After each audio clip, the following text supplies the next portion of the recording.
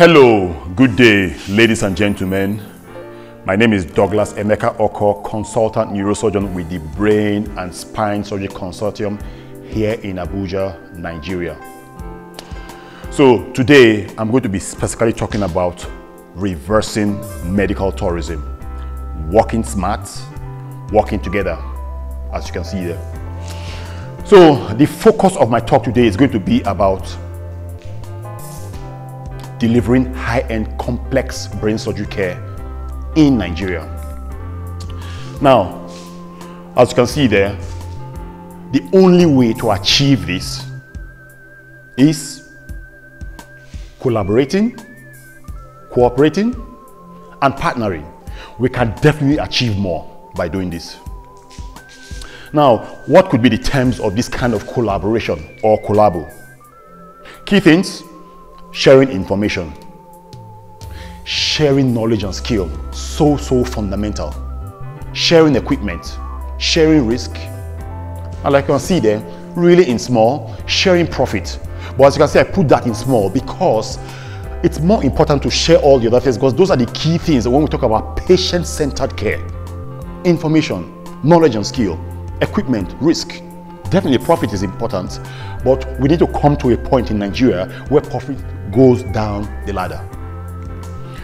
Now, what is the network or the team that will be involved in delivering high-end complex brain surgery care in Nigeria? The anesthetist and the ICU specialist, ICU, intensive care unit specialist, definitely the physiotherapist, the nurses, very crucial, very fundamental the neurosurgeons or brain and spine surgeons, and definitely there are other healthcare professionals, other professionals as well that get involved to make this sort of patient-centered care that is efficient and effective. And to tell you the truth, ladies and gentlemen, we are trending, we are going there already. Now, the key thing here, remember, collabo, cooperating, partnering, it's about working together. No competition. Networking, very fundamental. People pulling together. The objective here is to improve local outcomes, i.e. patient-centered care. The kind of patients who go to Germany, go to UK, other countries, India, sorting those kind of patients out here and improving the outcomes of those patients is the key thing here. And basically reversing medical tourism.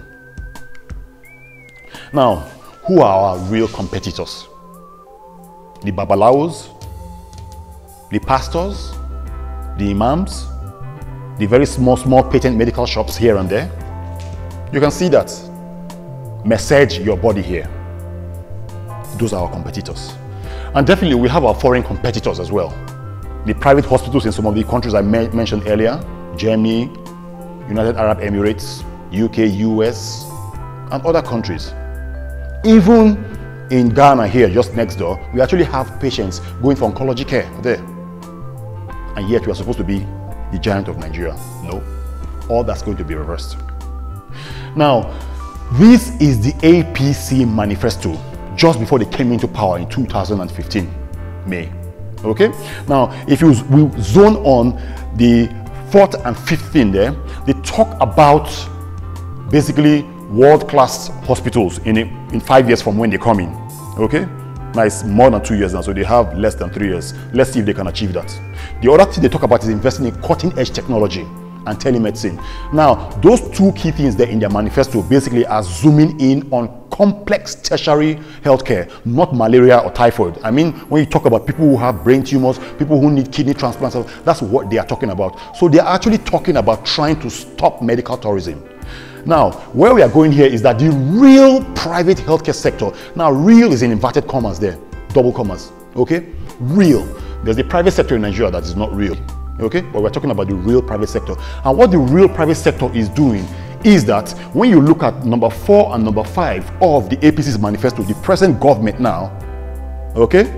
When you talk about stopping medical tourism or going to that next level of reversing medical tourism, the real private healthcare sector players are the ones that are going to brave the way and pave the way. And hopefully at some point in the next 15, 20 years, the public sector will start following. Now, examples of collaborations Remember what we're talking about with this collabo, working together and working smart. Okay? Now, the Brain and Spine Surgery Consortium, which I represent, has collaborated with a few top class, real private sector players in Abuja. I'll mention a few of them. So you can see that list. That list. Now, one of them is Cedar Crest Hospital here in Abuja.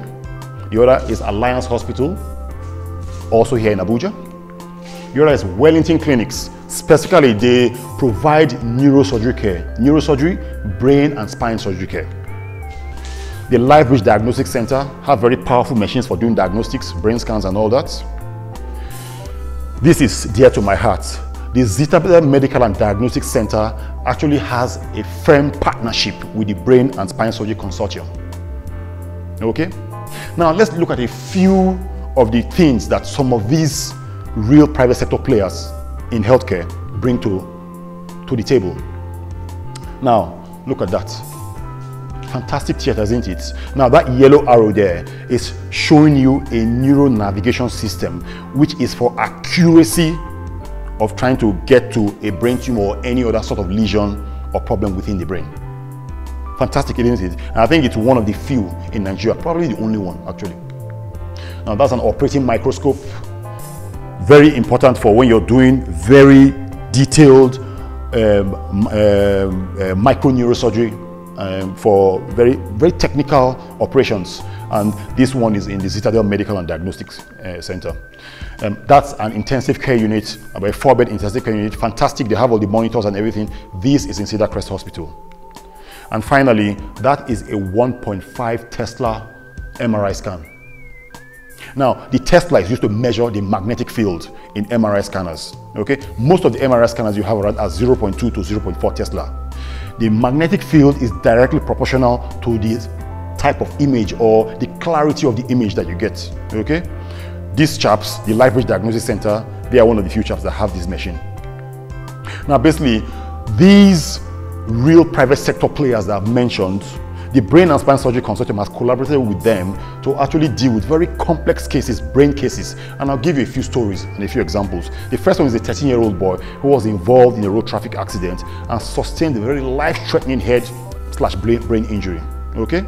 Now, this shows the scans of the boy. As you can see, the one on your left-hand side, as you're looking at the screen, is just after the boy had the accident. You can see the blood clots just around there and um, basically the yellow arrow is showing the blood clot and there's lots of pressure within this boy's brain. He had an operation and you can also see the scan on your right, your right which is the scan after he had the operation. He did very well. Next story is that of a 70 year old lady who was developing some, some personality changes, some behavioral problems and then progressed to being drowsy and couldn't actually walk. And that's her scan. The yellow arrow shows a big blood clot which has actually liquefied and causing lots of pressure on the brain. She also had an operation, two holes in the skull to let that blood clot out and she did well as well. Continuing, another story again, lady in her 50s, having problems with her vision, progressively getting worse and some headaches as well. And there you go, those are a few scans there and all those arrows are pointing to a very large tumor at the base of her brain causing lots of pressure on the nerve to her eyes and that's why she was getting problems with her sight. She went on to have an operation. And in fact, just quickly, maybe in these few seconds, we just show this video of, of her having this done, actually using a telescope going through the nose to the base of the skull.